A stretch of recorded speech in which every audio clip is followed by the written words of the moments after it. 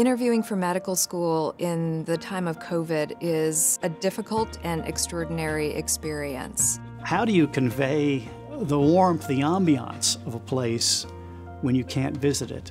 One thing that I see from everyone that visits the campus is how amazed they are at the level of happiness of the students. That's something that really I'm disappointed that other students coming into this medical school don't get to see before they're here because I think we have one of the best cultures of any medical school in Texas. Find places, and I know that we are one of them, that you can be in direct dialogue with, with leadership, with faculty, and with students to find out the answers to your questions and to find out what we're really about.